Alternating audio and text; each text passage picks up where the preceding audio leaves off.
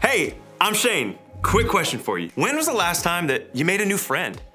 Just think about that for a second. You got it? Okay, maybe it's when you started school this year, or became a part of a new team, or you joined your small group here at church. Maybe it was even this week. Well, I don't know about you, but I get super excited when I make a new friend. Meeting that new person, it usually means a lot of other new things are coming my way too, like new interests that they can share with me, new inside jokes that just us can laugh about, new music that we can discover together. New friends have a way of influencing a lot of things about our lives. I, I mean, I know that's been true for me. I've got a friend named Kyle and I'll never forget when we first met. I had no idea the kind of impact that he would have on my life. And I'll tell you a little bit more about that later. I mean, isn't it true that people just have a way of influencing us more than we even realize?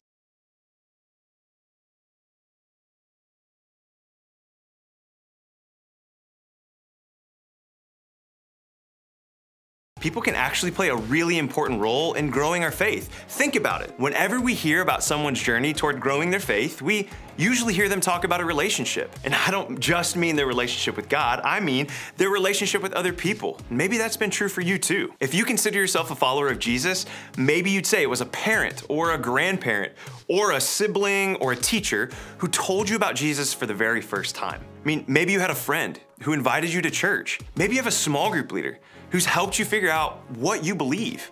Or maybe someone you don't even really know that well has influenced your faith in really big ways. Maybe it was someone on Instagram, or a celebrity you love, or an athlete that you follow, or a person that you discovered on TikTok. Maybe their story helped you connect some dots in your own faith. And even if you're not sure what you believe yet, I bet you can name one person in your life who seems to care a lot about their own faith. Maybe there's something about the way that they treat other people or the way that they act or the things that they say that just seem different to you. There's something about the way they live that makes you wonder why they are the way that they are. Or even if you could be a little bit more like them too. Have you ever thought about that? Well, no matter what this looks like for you, the chances are good that you're sitting here right now because of at least one other person in your life. Someone who invited you or included you or inspired you. Someone who has encouraged you or made a difference in your life. If that's true for you, here's what I want you to know about that. It's how God planned it. Isn't that awesome? God designed human beings to be in relationship with other people, in families and friendships, on teams, in small groups. God made us to live, grow, and develop our faith alongside each other, to influence each other's lives and faiths in a positive way.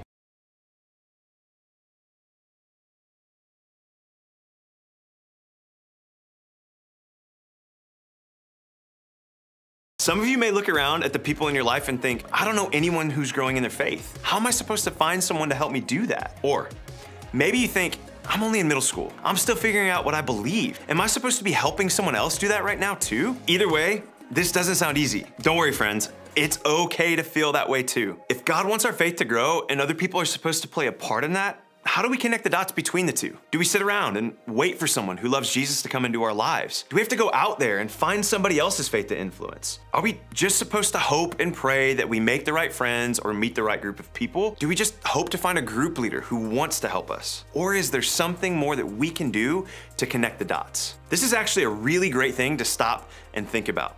Because whether you realize it or not, you have a choice about who you let influence your life. And just like the right people can move your faith in a positive direction, the wrong people can move your faith in a negative direction. In other words, the relationships in your life are powerful. And if God made relationships as something that can grow our faith, we want to be careful about the ones that are influencing what we believe. Today, we're gonna look at some wisdom from a man named Solomon. Why do we care what he said about all this? Well, for a couple of reasons. First, Solomon was a king, which is pretty cool if you ask me.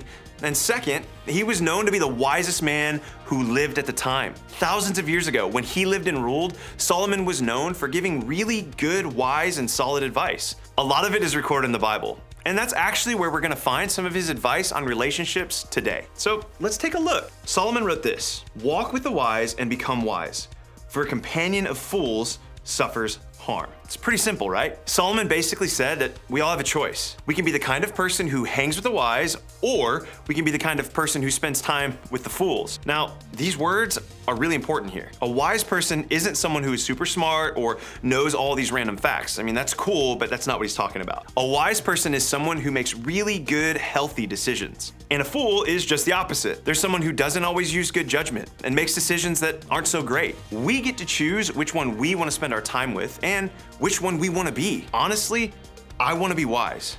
And I think most of you probably do too. So, what do we do to become wise? Well, as Solomon put it, we have to walk with the wise. We have to spend time with the people who are making good, healthy choices. We have to spend time with the kind of people who will help make us better. Because if we don't, well, then we risk letting our lives be influenced by fools. This whole thing meant so much to Solomon that he actually put it another way later on in Proverbs. He says, as iron sharpens iron, so a friend sharpens a friend. Solomon was painting a picture that back then would have made a lot of sense. There were people in his culture who spent a lot of time working with metals like iron, and often they'd use iron against iron to sharpen it, to form it into what they were making it to be. Let me show you what I mean. I love to cook. Okay, who am I kidding? I really love to eat. And one of the most important tools in a cook's kitchen is a good sharp knife. And the best way to sharpen a metal blade is actually against something else that's metal. And don't try this at home, it's dangerous. In fact, I'm not even sure I should be doing it. This is a little scary, so I'm just gonna set it here. But here's the deal. The reason this works, well, like Solomon told us, metal sharpens metal, or iron sharpens iron. And the same is true with relationships. In the same way, a wise person in your life can help you grow into the person that you were made to be. The right person can encourage you, influence you, support you, and challenge you as you grow in your faith. See, if we want to connect the dots to help grow our relationship with God, then we need the help of people around us to do it. People can grow your faith. God created us to be in relationship with other people to have family members and friends and teammates and coaches and small group leaders to help us grow in our faith and develop a deeper relationship with God, to influence us to keep learning, keep growing, and keep connecting the dots in a way that will lead to a stronger faith. Remember, I told you about Kyle a little bit earlier? Well, he was that person for me. And you know how he did it? In the most important times in my life, he showed up. He walked through life with me. He was just there to be a great friend and to remind me that God was with me too.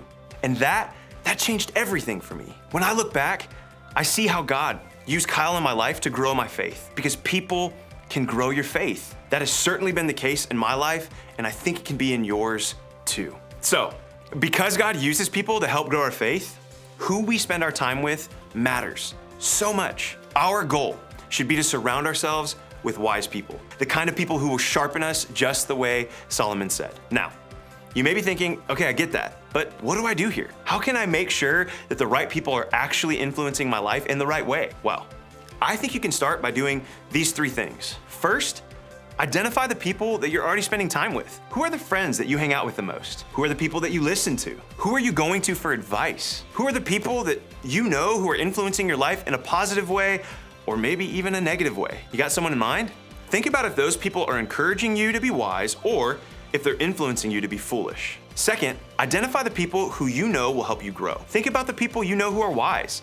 Think about the people you know at school, at home, on your team, at church, in your group, or in your community who live their lives in a way that you want to live your life. Got that person in mind? Even if it's only one person, identify someone you know who might be able to help you connect some of the dots as you grow in your faith. And by the way, your group leader is a great one. Okay, now third, try to get to know that person more. Whoever it is in your life, this week take one step toward building a closer relationship with them. If it's someone at school, maybe sit with them at lunch or invite them over to hang out at your house. If it's an adult in your life, maybe text them and ask them to talk sometime. And I know, I know that feels scary, but I promise they'll say yes. Why? Because chances are someone in their life once said yes to them. They know how important it is to walk with the wise, and they want to help you do the same in your own life. Now, Maybe you're wondering if this means that you can't be friends with someone if they get into trouble a lot or believe different things than you do. Well, let me just be clear. That's not what it means. Of course you can be friends with people who don't think or act or believe the same way that you do. You should be, actually. Maybe they need a friend like you in their life who can help them grow. Or maybe there are great things about who they are that can positively influence your life in other ways. Having friends and people in your life who are different from you can be a really, really great thing. But we need to remember to have strong relationships with people who are wise, who can help us grow in our faith too. God wants your faith to grow. So don't forget to have people in your life who want your faith to grow as well. Remember, people can grow your faith because we all need a little encouragement to connect the dots and grow deeper in our relationship with God. Whether it's a big decision or a painful mess, you wanna know that there are people you can send a text message or a DM to, and they're there for you. The good news is, you have a group here at church who can be those people for you. And of course, your group leader is there to be a wise person that you might need in your corner as you explore this whole faith thing together. They care about you so much. So, I hope you'll start sharing with them this week.